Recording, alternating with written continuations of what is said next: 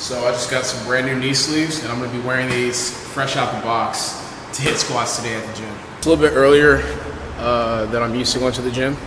Uh, not really, it's kind of like around the same time, probably like an hour earlier. Oh, I'm pretty tired, but hopefully that doesn't play a role into today's workout. Today is supposed to be like volume, so should be all right. Just a little bit tired. Just stop complaining.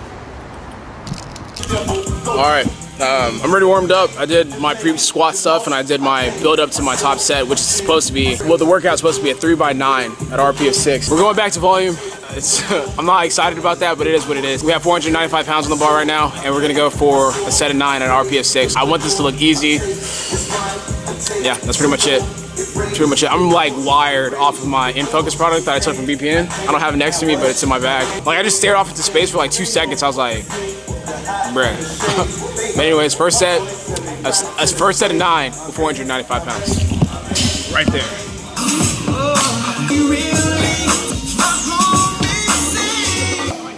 I'm facing up but I don't know wrestling. Blue cheese pockets got that extras. I stack the money up like Tetris.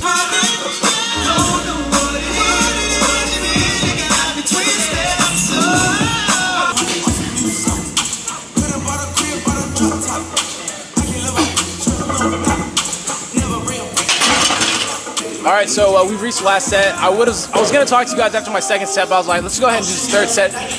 It's not hard. It's just like I'm kind of out of shape from doing reps. Like doing nine reps is ridiculously tough. Just like run out of breath when I'm squatting whenever I get to like my sixth rep. But we're here, last set. Let's go ahead and gear up and get this nine reps out of the way. we are officially back on volume. What's up, guys? I'm to be talking to you as I'm doing this last set. Uh, once again, some of the things that I'm focusing on is slowing up my descent. I want to be consistent. Like when I watch Joey compete, I noticed that his 700 pound squat or 744 pound squat was done with such control. I'm like, man, if I could just translate that into my squat and be consistent, then I think that we're going to be able to hit big things in the future. So we're, we're going back into volume.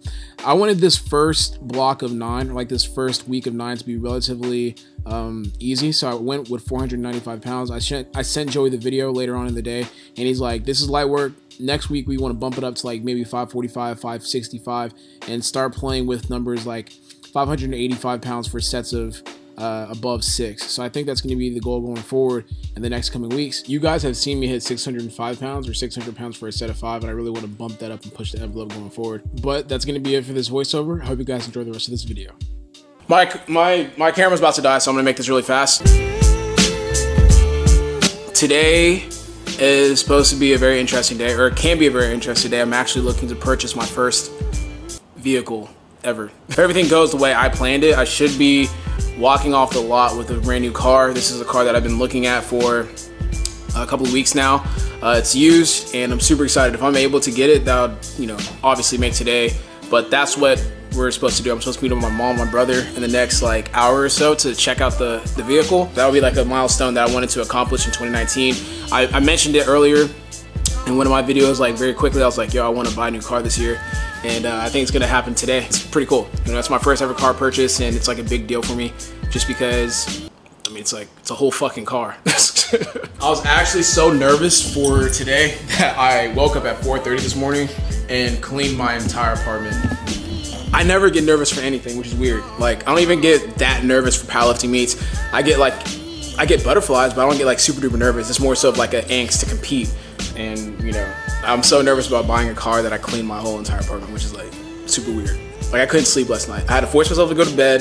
Then I woke up this morning, like around like 3:30, went back to sleep, then woke up at 4:30. And I was like, damn. I'm like, I'm up, up. Looks like it's about to rain. Like I would show you guys, but you guys can't see from where I'm sitting. Let me see. Like you can just tell the sun's not out, all that stuff. It's really bad weather.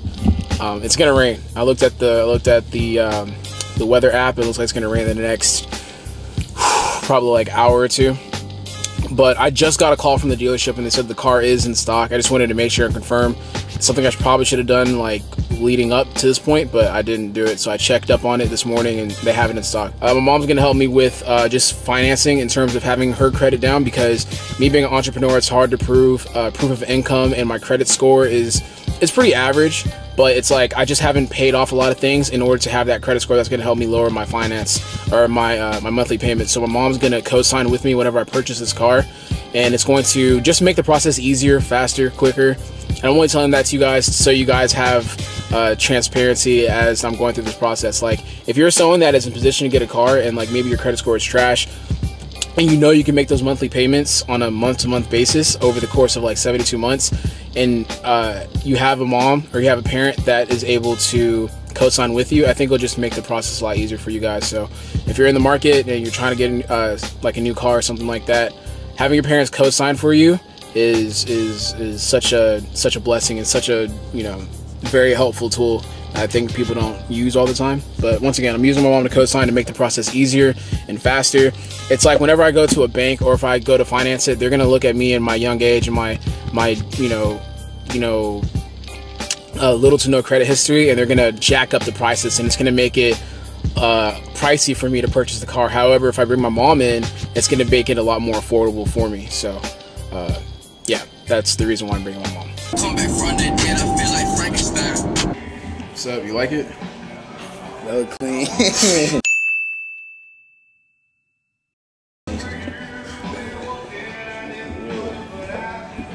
Would you drive it though? No. Huh? Would you drive it? I shoot a video on uh,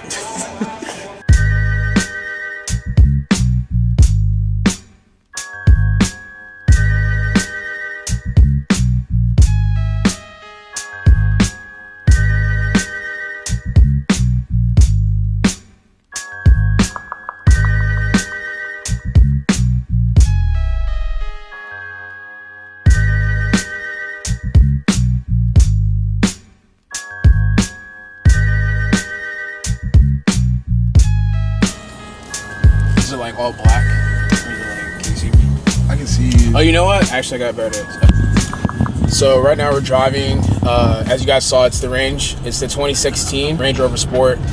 It's like the perfect size, I think, for me because like I don't want like a huge, humongous car, and I think that like the Sport, like kind of like the name, like it says, you know, it's more of a smaller, sporty car, uh, but it's still nice and it's used. It's like in my price range. Just driving right now just to get a feel for it. And I'm, I mean, honestly, I like it. I like the all black look. Um, it's a little bit dirty right now just because it's like it's been raining a lot in Houston, and they said that if I were to purchase the car, they would clean it up before me before I take it off the lot. Once again, just driving here. I mean, it feels it feels solid.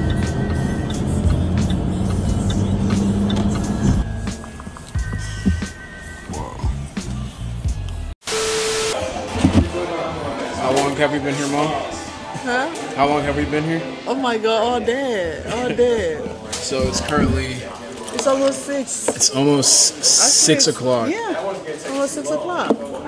I'm not gonna lie to you guys. This day has been one of the most uneventful days uh, that could have happened. But I was kind of like anticipating that. Whenever it comes to situations like this, I'm like always thinking about the worst.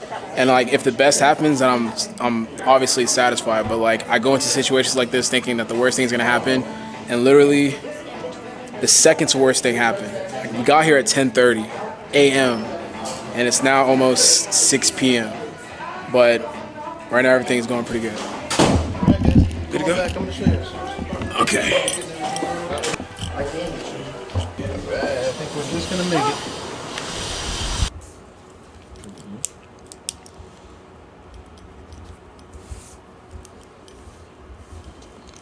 Sorry. Mm-hmm. Okay.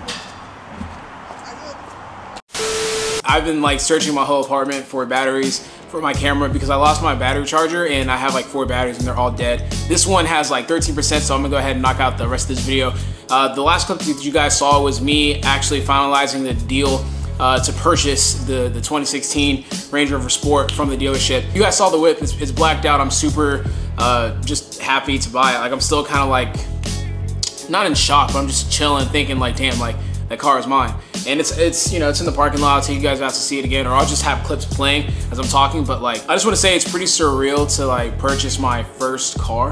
Uh, I was, I, I don't know if you guys knew, but I drove my Camaro for about 10 years now. I got my Camaro when I was like 15 going on 16. I'm now 24 going on 25 this year. So that's essentially been nine years. It's gonna be 10 next year, and I was like, you know what, man, I haven't spent any of the money that I've earned.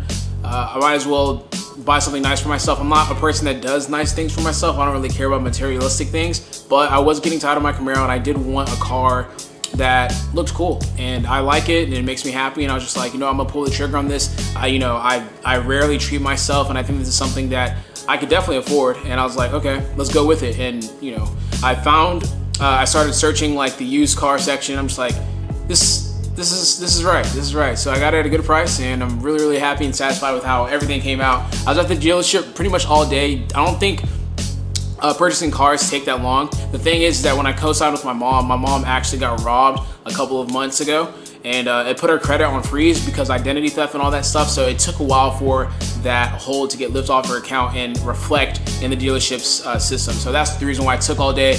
And it, like we stayed there all day because I wanted to leave the lot with the car. When I get something stuck in my head, it's kind of annoying. When I get something stuck in my head, like I have to execute that thing the way I wanted to execute it. And the way I had in my head for the day was like I wanted to leave the dealership with that car. And everything was in place. It's just the fact that the credit freeze kind of held us up for the whole entire day. But we ended up I ended up leaving the lot with the car and I'm super happy about that. But I wanted to share that experience with you guys. So um, yeah that's pretty much it for this video. It's the next day man and I'm trying to like I'm like running around trying to get things together because I'm actually going to the gym I didn't I didn't get to go to sleep until like three in the morning and then I woke up at six it's just whatever so I want to thank you guys for tuning into today's video. Like always, you guys like today's video, please like, comment, share, subscribe. Get better today. I'm out. Taking out my weapon and pulling the clip back. Wondering how the fuck did I take in a bus back? Hearing y'all's round of applause, I better pause when I run up and go spot and pop you all in your jaws.